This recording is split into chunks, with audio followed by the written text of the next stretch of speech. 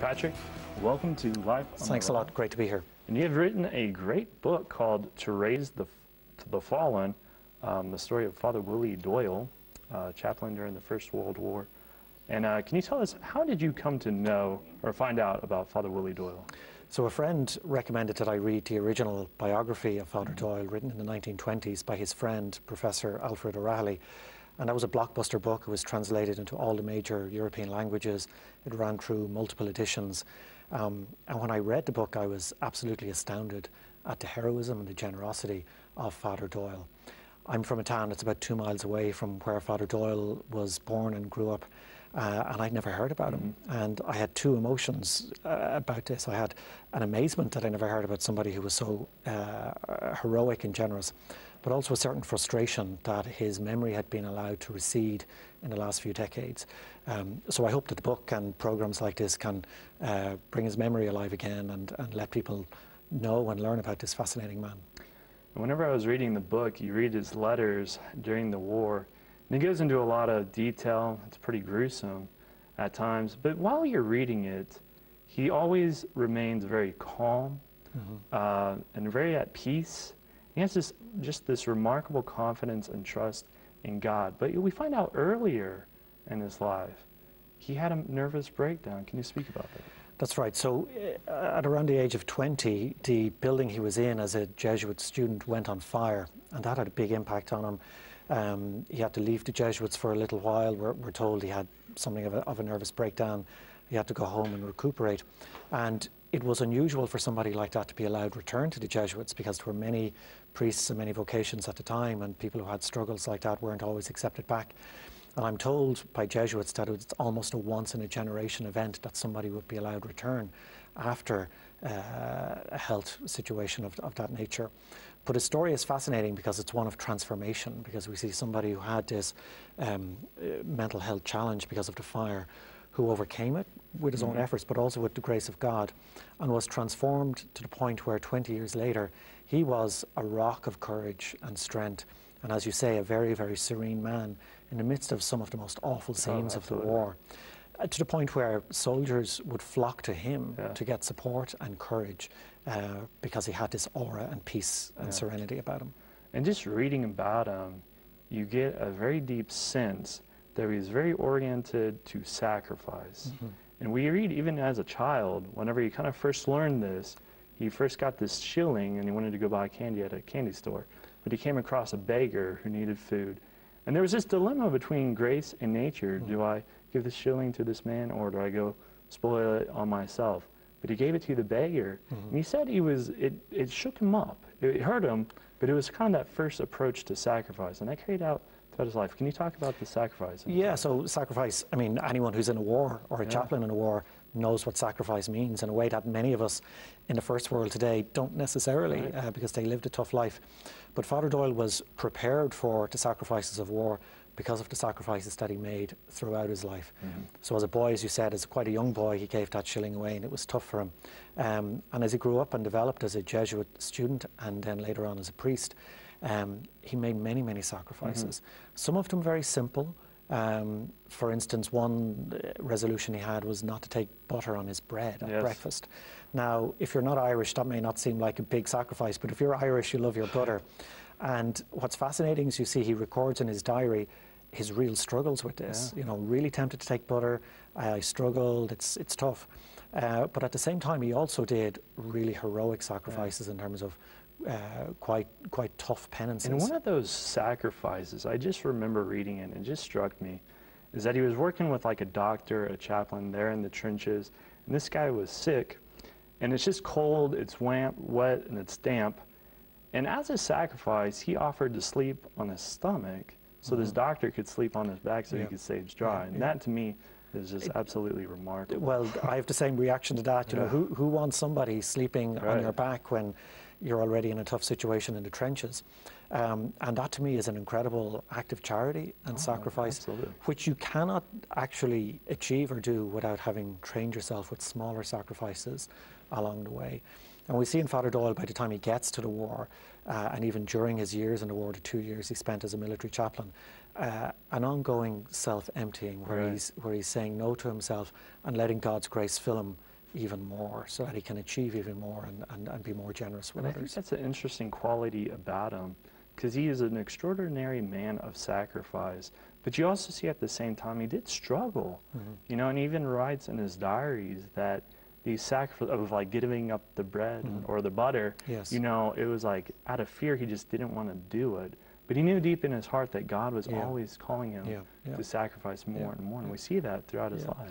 I mean, he, he felt he had a call to a particularly hard life. Yes. Um, you know, even to the point where he would say, not just a hard life that an average priest or religious or Jesuit had at the time, which, you know, was quite a sacrificial and, and tough life. He really discerned uh, and he spoke to others about it. He got approval from his confessor and from other uh, superiors that he was called to an even greater heroism Mhm. and an even greater sacrifice. And interestingly, much of that was oriented around reparation for the sins of priests. And he felt Yes, called yeah. to offer himself, um, offer himself really as a victim in reparation for those sins. And the very last thing he wrote in his private diary, on the 10th anniversary of his ordination, and just three weeks before he died, was that he offered up all his sufferings in the trenches to make up for the sins of other priests. Wow.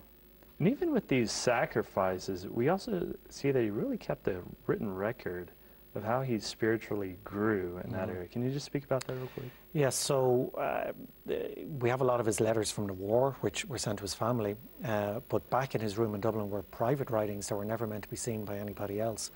And his older brother was also a Jesuit, Yeah. and when he was cleaning out his room back in Dublin after he had died, he found these boxes of private notes with a note saying, please destroy in case of death. Um, but he brought them to his superior and they agreed that they shouldn't be destroyed because they were very valuable and edifying. And what you see here is, as another biographer described it, a very rare sight, which is sanctity in the making, the Mhm. painstaking efforts that somebody makes to uh, empty themselves so that God's grace can fill them. So it's not just a, a self will to be holy, Right. but a self will to say no to myself so that I can say yes to God.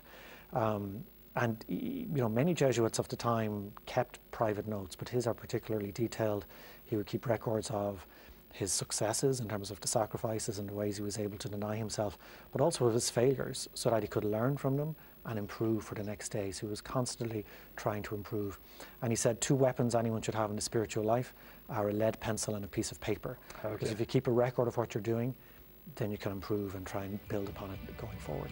Okay. Well, thank you, Patrick. And now we go to a break.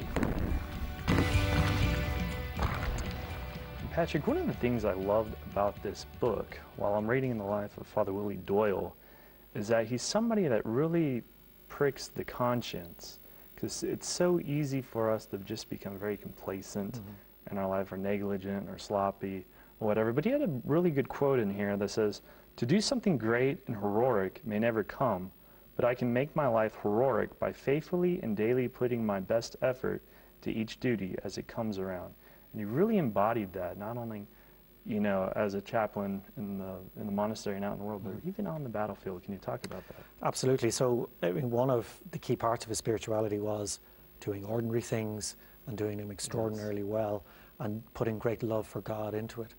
And we can see a similarity here between uh, Father Willie and other saints. Yeah. Um, Saint Therese obviously Yes. comes to mind in her little way. They were both born in the same year. He had a devotion to her, um, so this may have influenced his, his thinking.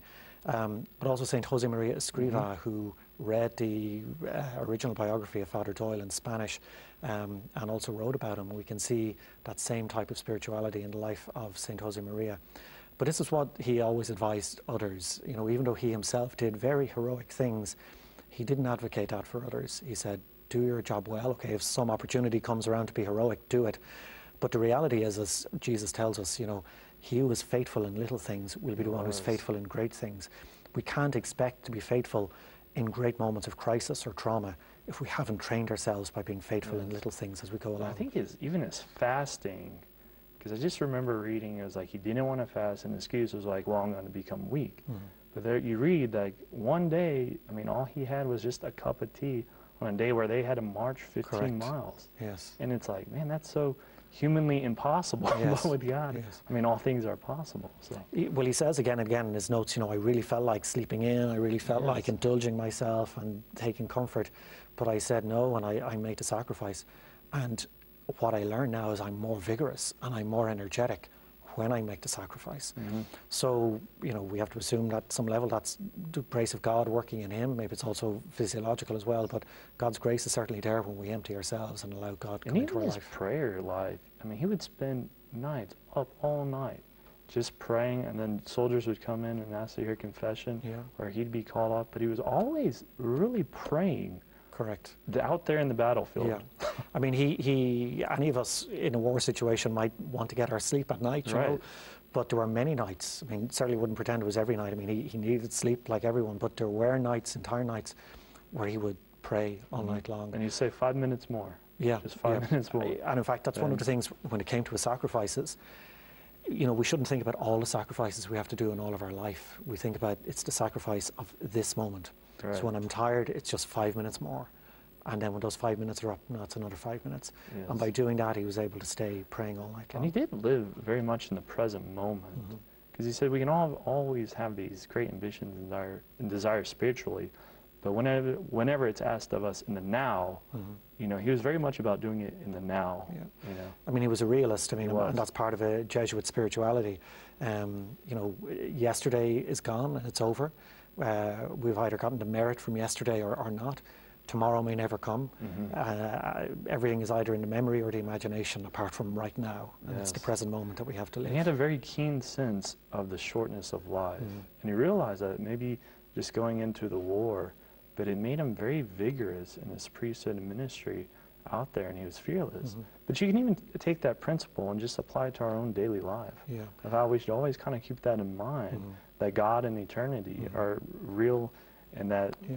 at any given moment, that it can be our time. I mean, he, he, had a, he had a sense that, um, which is true, that we all have to render an account of our lives, and we don't know when we're going to have to render that account. And that certainly made him vigorous and made him very zealous. One of the moving, I know it struck me, but can you talk about whenever he was there, the Mass of the Dead, and what that was like? Yeah, so I'll, I'll read this excerpt from a letter that he wrote home to his father. And it was during the Battle of the Somme, which is one of the horrendous battles of, of the First World War, incredible sights and sufferings.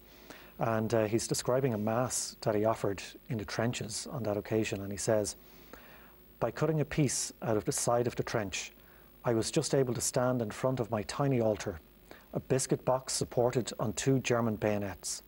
God's angels, no doubt, were hovering overhead, but so were the shells, hundreds of them, and I was a little afraid that when the earth shook with the crash of the guns, the chalice might be overturned. Round about me on every side was the biggest congregation I ever had. Behind the altar, on either side and in front, row after row, sometimes crowding one upon the other, but all quiet and silent, as if they were straining their ears to catch every syllable of that tremendous act of sacrifice. But every man was dead. Hmm. Some had lain there for a week and were foul and horrible to look at, with faces black and green. Others had only just fallen and seemed rather sleeping than dead. But there they lay, for none had time to bury them. Wow. So an incredible and moving And he scene. had seen a lot and he had been through a lot. Father Willie Doyle was a remarkable man, and I wish we had more time to talk about him. Patrick, thank you for coming on this Thank you for having me. Delighted.